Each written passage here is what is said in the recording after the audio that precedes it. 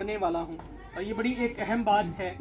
और मैं समझता हूँ कि इस बात को हमारे लिए सीखना बहुत ज़रूरी है क्योंकि देखने को ये छोटी सी बात है लेकिन ये छोटी सी बात बड़े बड़े घरों को उजाड़ देती है। इसलिए बड़े ध्यान के साथ बात को सुनिएगा। बाइबल में लिखा है ऐब जोई ना करो कि तुम्हारी भी ऐब जोई ना की जाए। क्योंकि जिस तरह तुम ऐब जोई करते हो, उसी तरह तुम्हारी भी ऐब जोई की जाएगी। और जिस पैमाना से तुम नापते हो, उसी से तुम्हारे वास्ते नापा जाएगा। तो क्यों अपने भाई की आँख के तिनके को देखता है, और अपनी आँख के शतीर पर गौर नहीं करता? और जब तेरी ही आँख में शतीर है तो तू अपने भाई से क्यों कर कह सकता है कि ला, तेरी आँख में से तिनका निकाल दू? ए रियाकार पहले अपनी आँख में से तू शतीर निकाल, फिर अपने भाई की आँख में से तिनके को अच्छी तरह से निकाल सकेगा। खुदावंत का खूबसूरत कलाम पढ़ा जाना, सुना, समझा और कबूल किया जाना, हम सबों के लिए बाइश बरकत हो, हम सब ऊँची आवाज़ पे कहेंगे आमीन। ये हवाला जो मैंने आपके सामने पढ़ा है इसके अंदर एक बड़ी अहम बात है जिससे मना किया गया। और वो बात है ऐब जोई। आजो आजो बाजी अंदर कहना अंदर आना की आज हम सीखने वाले हैं ऐब जोई। एक ऐसा लफ्ज जिसे हम शायद मामूली सा या फिर एम ही ले लेते हैं। ऐब जोई का मतलब होता है कि मुझे इस बंदे के बारे में कुछ ऐसा पता है जो कि आप लोगों को नहीं पता। कोई मसला नहीं। और इस बंदे की वो कमी या फिर इस बंदे की पीठ पीछे जो इसकी बातें मुझे पता है वो बातें मैं आप लोगों के साथ करूँ।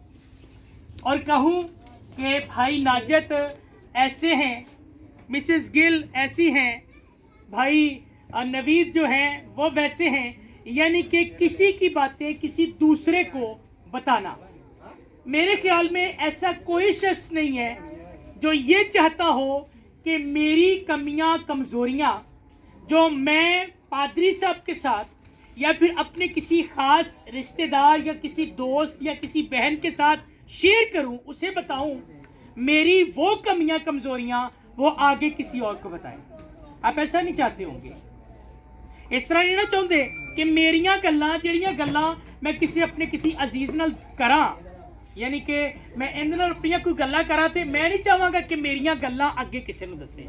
ਇੰਜ ਹੁੰਦਾ ਹੈ ਨਾ ਕਿ ਅਸੀਂ ਨਹੀਂ ਚਾਹੁੰਦੇ ਕਿ ਮੇਰੀਆਂ ਗੱਲਾਂ, ਜਿਹੜੀਆਂ ਗੱਲਾਂ ਮੇਰੀਆਂ ਨੇ, ਬੜੀਆਂ ਖਾਸ ਗੱਲਾਂ ਨੇ, ਉਹ ਗੱਲਾਂ ਮੈਂ ਇੱਕ ਖਾਸ ਬੰਦੇ ਨਾਲ ਕਰ ਰਿਹਾ ਵਾਂ ਤੇ ਮੇਰੀ ਕੋਸ਼ਿਸ਼ ਹੋਏਗੀ ਕਿ ਮੇਰੀਆਂ ਉਹ ਗੱਲਾਂ, ਇਹ ਬੰਦਾ ਅੱਗੇ ਨਾ ਕਰੇ। ਲੇਕਿਨ ਬਾਜ਼ ਔਕਾਤ ਮੈਂ ਦੇਖਿਆ ਹੈ ਇਸ ਤਰ੍ਹਾਂ ਹੁੰਦਾ ਹੈ ਕਿ ਅਗਰ ਕਿਸੇ ਦੀ ਕੋਈ ਗੱਲ ਪਤਾ ਚੱਲ ਜਾਵੇ ਨਾ, ਉਹ ਬੰਦੇ ਦੀ ਖਾਸਤਰ ਕਮਜ਼ੋਰੀ ਹੋਵੇ। ਜਿੰਦੇ ਨਾਲ ਉਹ ਬੰਦਾ ਜ਼ਲੀਲ ਹੁੰਦਾ ਹੋਵੇ, ਰਸਵਾ ਹੁੰਦਾ ਹੋਵੇ। ਤੇ ਅਸੀਂ ਕੀ ਕਰਨੇ ਆ? ਅਸੀਂ ਉਹ ਗੱਲਾਂ ਨੂੰ, ਜਿਹੜੀ ਗੱਲ ਸਾਨੂੰ ਕਿਦੋਂ ਪਤਾ ਚੱਲਦੀ ਏ, ਬਗੈਰ ਵੈਰੀਫਿਕੇਸ਼ਨ ਤੋਂ। ਵੈਰੀਫਿਕੇਸ਼ਨ ਦਾ ਮਤਲਬ ਹੁੰਦਾ ਹੈ ਕਿ ਅਸੀਂ ਪੁੱਛ ਪੜਤਾਲ ਵੀ ਨਹੀਂ ਕੀਤੀ। ਪਤਾ ਵੀ ਨਹੀਂ ਕੀਤਾ ਕਿ ਇਹ ਗੱਲ ਵਾਕਈ ਹੀ ਠੀਕ ਹੈਗੀ ਏ ਜਾਂ ਨਹੀਂ ਹੈਗੀ। ਅਸੀਂ ਉਸ ਬੰਦੇ ਦੀ ਬੁਰਾਈ ਕਿਸੇ ਤੀਸਰੇ ਬੰਦੇ ਨਾਲ ਕਰ ਦਿੰਨੇ ਆ ਗੱਲ ਆ ਰਹੀ ਸਮਝ ਬਾਈਬਲ ਕੀ ਕਹਿੰਦੀ ਏ? ਬਾਈਬਲ ਕਹਿੰਦੀ ਏ, ਕਿਸੇ ਦੀ ਐਬ ਜੋਈ ਨਾ ਕਰੋ। ਐਬ ਹੁੰਦੇ ਨੇ, ਐਬ ਮਤਲਬ ਕਿ ਕਿਸੇ ਦਾ ਤੁਹਾਨੂੰ ਐਸਾ ਪਤਾ ਚੱਲ ਗਿਆ ਜਿਹੜੀ ਕਿ ਉਹਦੀ ਜ਼ਿੰਦਗੀ ਦੇ ਅੰਦਰ ਐਬ ਏ। ਕੋਈ ਬੁਰਾ ਹੈ ਬੁਰਾਈ ਹੈ ਉਹ ਕਹਿੰਦਾ ਹੈ ਉਹ ਬੁਰਾਈ ਅਗਰ ਤੈਨੂੰ ਪਤਾ ਲੱਗ ਗਈ ਏ, ਤੇ ਰਾਜ਼ ਰੱਖ। ਉਹ ਅੱਗੇ ਕਿਸੇ ਤੀਸਰੇ ਬੰਦੇ ਨੂੰ ਨਾ ਦੱਸ। ਕਿਉਂ ਨਾ ਦੱਸ? ਕਿਉਂਕਿ ਉਹ ਕਿਸੇ, ਫਿਰ ਉਸ ਤੋਂ ਬਾਅਦ ਦੂਸਰੇ, ਤੀਸਰੇ ਬੰਦੇ ਦੀ ਮਿਸਾਲ ਨਹੀਂ ਦਿੰਦਾ। ਉਹ ਕਹਿੰਦਾ ਹੈ ਤੂੰ ਆਪਣੀ ਹੀ ਮਿਸਾਲ ਲੈ ਲੈ। ਅਗਰ ਤੇਰੀ ਜ਼ਿੰਦਗੀ ਦੇ ਅੰਦਰ ਕੋਈ ਐਬ ਹੈ ਕੋਈ ਬੁਰਾਈ ਹੈ ਤੇ ਤੂੰ ਨਹੀਂ ਚਾਹੇਗਾ ਕਿ ਤੇਰੀ ਤੇਰਾ ਉਹ ਐਬ ਉਹ ਬੁਰਾਈ ਕੋਈ ਕਿਸੇ ਦੂਸਰੇ ਤੀਸਰੇ ਨੂੰ ਦੱਸਦਾ ਫਿਰੇ। ਅਗਰ ਤੂੰ ਨਹੀਂ ਚਾਹੇਗਾ ਕਿ ਤੇਰੇ ਐਬ ਦੂਸਰੇ ਤੀਸਰੇ ਤੱਕ ਪਹੁੰਚਣ ਤੇ ਫਿਰ ਕਿਸੇ ਦੂਸਰੇ ਤੀਸਰੇ ਦਾ ਐਬ ਵੀ ਅੱਗੇ ਦੂਸਰੇ ਨੂੰ ਟਰਾਂਸਫਰ ਨਾ ਕਰ।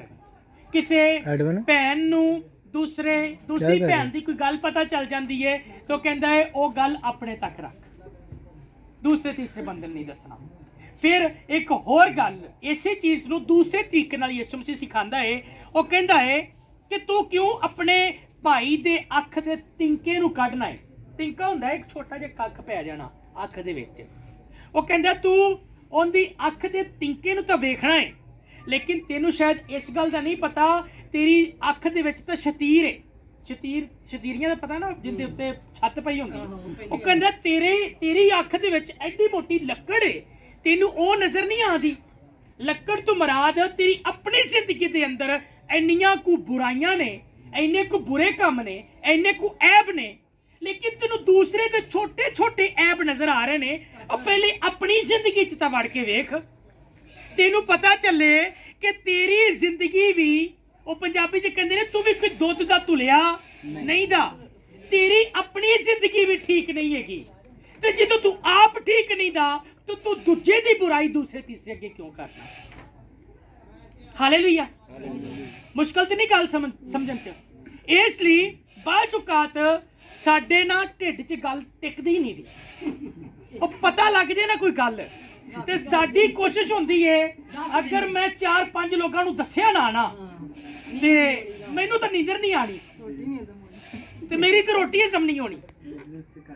ਇਹ ਬੜੀ ਹੀ ਬੁਰੀ ਆਦਤ ਹੈ ਜਿਹੜੀ ਅਸੀਂ ਨਾ ਆਪਣੀ ਜ਼ਿੰਦਗੀ ਦੇ ਵਿੱਚ ਪਾ ਲਿੱਤੀ ਹੈ ਉਹ ਮੈਨੂੰ ਕਿਸੇ ਨੇ ਨਾ ਕੋਈ ਗੱਲ ਦੱਸੀ, ਕਹਿੰਦੇ ਕਿ ਮੇਰੇ ਕੋਲ ਨਾ ਕੁਝ ਗਲਤ ਹੋ ਗਿਆ, ਤੇ ਮੈਂ ਨਾ ਆਪਣੇ ਬੜੇ ਖਾਸ ਦੋਸਤ ਨੂੰ, ਜਿਸ ਜਿਹਨੂੰ ਇੰਗਲਿਸ਼ ਚ ਬੈਸਟ ਫਰੈਂਡ ਕਹਿੰਦੇ ਨੇ, ਆਪਣਾ ਬੜਾ ਹੀ ਬਿਹਤਰੀਨ ক্লোਜ਼ ਦੋਸਤ, ਕਹਿੰਦਾ ਮੈਂ ਉਹਨੂੰ ਦੱਸ ਬੈਠਾ। ਤੇ ਕੁਝ ਦਿਨਾਂ ਬਾਅਦ ਨਾ ਉਹੋ ਹੀ ਗੱਲ ਮੈਨੂੰ ਮਹੱਲੇ ਚੋਂ ਹਰ ਘਰ ਚੋਂ ਪਤਾ ਚੱਲੀ ਤੇ ਮੈਂ ਉਹਨੂੰ ਜਾ ਕੇ ਪੁੱਛਿਆ ਮੈਂ ਕਿ ਯਾਰ ਇਹ ਗੱਲ ਮੈਂ ਕਿਸੇ ਨੂੰ ਨਹੀਂ ਸੀ ਦੱਸੀ। ਤੈਨੂੰ ਦੱਸੀ ਮੈਂ ਤਾਂ ਸਿਰਫ ਤੈਨੂੰ ਦੱਸੀ ਸੀ। ਤੇ ਉਹਨੇ ਕਿਹਾ ਯਾਰ ਮੰਮੀ ਤਾਂ ਸਿਰਫ ਤਿੰਨ ਚਾਰ ਬੰਦਿਆਂ ਨੂੰ ਦੱਸੀ ਸੀ। ਤੂੰ ਮੇਰੇ ਬੜੇ ক্লোਜ਼ ਸੀ ਜਾਣਨ ਵਾਲੇ ਸੀ। ਤੇ ਮੈਨੂੰ ਉਹਨਾਂ ਤੇ ਬੜਾ ਯਕੀਨ ਸੀ ਕਿ ਇਹ ਅੱਗੇ ਨਹੀਂ ਦੱਸਣਗੇ। ਉਹ ਕਹਿੰਦਾ ਹਾਂ ਤੂੰ ਜਿੰਨਾ ਕੁ ਮੈਨੂੰ ਤੇਰੇ ਤੇ ਯਕੀਨ ਸੀ ਨਾ ਇੰਨਾ ਕੁ ਤੈਨੂੰ ਉਹਨਾਂ ਤੇ ਯਕੀਨ ਸੀ। ਲਿਹਾਜ਼ਾ ਤੂੰ ਮੇਰਾ ਰਾਜ਼ ਨਹੀਂ ਰੱਖਿਆ ਉਹਨਾਂ ਤੇਰਾ ਰਾਜ਼ ਨਹੀਂ ਰੱਖਿਆ। ਤੇ ਉਹ ਗੱਲ ਨਿਕਲਦੀ ਨਿਕਲਦੀ ਪੂਰੇ ਪਿੰਡ ਚ ਪਿੰਡ ਚ ਟੰਡੋਰਾ ਪਿੱਟਿਆ ਗਿਆ। ਲਿਹਾਜ਼ਾ ਹੁੰਦਾ ਕੀ ਏ? ਬਾਅਦ ਚ ਅਸੀਂ ਰਸਵਾਈ ਦਾ ਸਬਬ ਬਣਨੇ ਆ ਫਿਰ ਅਸੀਂ ਉਸ ਬੰਦੇ ਦੀ ਨਜ਼ਰਾਂ 'ਚ ਉੱਠ ਕੇ ਖਲੋ ਨਹੀਂ ਸਕਦੇ। ਤੁਹਾਨੂੰ ਉਹ ਕਦੀ ਫਿਰ ਨਾ ਯਕੀਨ ਕਰਕੇ ਤੁਹਾਨੂੰ ਕੋਈ ਰਾਜ਼ ਦੀ ਗੱਲ ਨਹੀਂ ਦੱਸੇਗਾ। ਅਗਰ ਚਾਹੁੰਦੇ ਹੋ ਕਿ ਤੁਸੀਂ ਰਾਜ਼ਦਾਰ ਬਣ ਜਾਓ ਤੇ ਹਰ ਬੰਦਾ ਤੁਹਾਡੇ ਕੋਲ ਆ ਕੇ ਤੁਹਾਡੇ ਨਾਲ ਆਪਣੀ ਗੱਲ ਸ਼ੇਅਰ ਕਰੇ, ਆਪਣੇ ਦਿਲ ਦੇ ਭੇਤ ਹੌਲੇ ਕਰੇ ਤੇ ਫਿਰ ਕੀ ਕਰਨਾ ਹੈ ਉਹ ਗੱਲ ਜਿਹੜੀ ਉਹ ਬੰਦਾ ਬੜੇ ਯਕੀਨ ਦੇ ਨਾਲ ਤੇ ਬੜੇ ਭਰੋਸੇ ਦੇ ਨਾਲ ਤੁਹਾਨੂੰ ਦੱਸਦਾ ਪਿਆ ਏ, ਉਹ ਗੱਲ ਕਿਸੇ ਤੀਸਰੇ ਬੰਦੇ ਨੂੰ ਨਹੀਂ ਦੱਸਣੀ। ਫਿਰ ਚਾਹੇ ਤੁਹਾਨੂੰ ਉਸ ਤੀਸਰੇ ਬੰਦੇ ਤੇ ਕਿੰਨਾ ਵੀ ਯਕੀਨ ਏ, ਤੁਹਾਨੂੰ ਉਹ ਜਿੰਨਾ ਮਰਜ਼ੀ ਉਹ ਜ਼ੋਰ ਲਾ ਲਵੇ ਕਿ ਮੈਨੂੰ ਗੱਲ ਦੱਸ ਦੇ। ਤੁਸੀਂ ਕਹਿੰਦਾ ਨਾ ਬਈ। ਮੈਂ ਨਹੀਂ ਦੱਸਾਂਗਾ। ਕਿਉਂ? ਕਿਉਂ ਨਹੀਂ ਦੱਸਾਂਗਾ? ਅੱਛਾ, ਇਹਦੀ ਇੱਕ ਵਜ੍ਹਾ ਤੇ ਆ ਕਿ ਉਹ ਬੰਦਾ ਨਾਰਾਜ਼ ਹੋ ਜਾਏਗਾ, ਮੇਰਾ ਰਿਸ਼ਤਾ ਕਮਜ਼ੋਰ ਪੈ ਜਾਏਗਾ। ਇਹਦੀ ਦੂਸਰੀ ਵਜ੍ਹਾ ਇਹ ਆ ਕਿ ਬਾਈਬਲ ਇਜਾਜ਼ਤ ਨਹੀਂ ਦਿੰਦੀ। ਬਾਈਬਲ ਕਹਿੰਦੀ ਹੈ, ਰਾਜ਼ਦਾਰ ਰਹਿਣਾ ਹੈ। ਐਬ ਜੋਈ ਨਹੀਂ ਕਰਨੀ। ਕਿਸੇ ਦੀ ਗੱਲ ਪਤਾ ਹੈ ਉਹ ਉਹ ਗੱਲ ਪਤਾ ਗੱਲ ਅੱਗੇ ਨਹੀਂ ਦੱਸਣੀ। ਜਿੰਨੀ ਦੇਰ ਤੱਕ ਉਹ ਬੰਦਾ ਤੁਹਾਨੂੰ ਇਜਾਜ਼ਤ ਨਹੀਂ ਦਿੰਦਾ ਕਿ ਜਾ ਕੇ ਮੇਰੀ ਇਹ ਗੱਲ ਤੂੰ ਦੂਸਰਿਆਂ ਨੂੰ ਦੱਸ ਸਕਣਾ ਹੈ। ਇਸ ਲਈ ਜਦੋਂ ਵੀ ਕਦੀ ਦਿਲ ਕਰੇ ਨਾ ਕਿ ਮੈਨੂੰ ਗੱਲ ਪਤਾ ਲੱਗ ਗਈ ਕਿਸੇ ਦੀ ਤੇ ਮੈਂ ਜਾ ਕੇ ਜਲਦੀ ਨਾਲ ਕਿਸੇ ਨੂੰ ਦੱਸ ਦਿਆਂ, ਉਦੋਂ ਸਿਰਫ ਇੰਨਾ ਕੁ ਸੋਚ ਲੈਣਾ ਕਿ ਉਹ ਤਾਂ ਸਿਰਫ ਇੱਕ ਤਿੰਕੇ ਬਰਾਬਰ ਤੁਹਾਨੂੰ ਇੱਕ ਗੱਲ ਪਤਾ ਚੱਲੀ ਏ, ਤੁਹਾਡੀ ਅੱਖ ਤੁਹਾਡੀ ਜ਼ਿੰਦਗੀ ਦੇ ਅੰਦਰ ਤਾਂ ਛਤੀਰ ਵੱਜੇ ਪਏ ਬੁਰੀਆਂ ਗੱਲਾਂ ਦੇ। ਐਬ ਬਹੁਤ ਜ਼ਿਆਦਾ ਨੇ। ਜਿਹੜੇ ਰੱਬ ਦੀ ਜ਼ਾਤ ਤੇ ਤੁਹਾਡੀ ਆਪਣੀ ਜ਼ਾਤ ਤੋਂ ਇਲਾਵਾ ਕੋਈ ਨਹੀਂ ਜਾਣਦਾ।